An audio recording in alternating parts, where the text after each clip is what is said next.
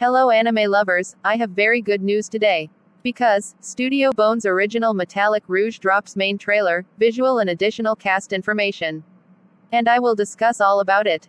Before we start, I have a small request. If you haven't subscribed to my channel then please subscribe, we are so close to 100 subscribers. And now, let's talk about the anime.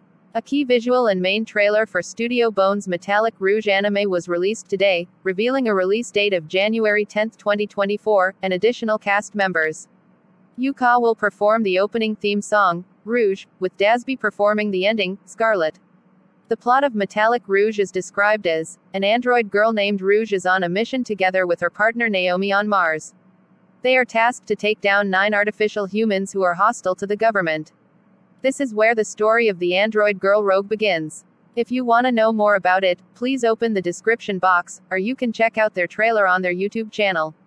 And that's it for today folks, we will talk about some other anime in any other video, bye.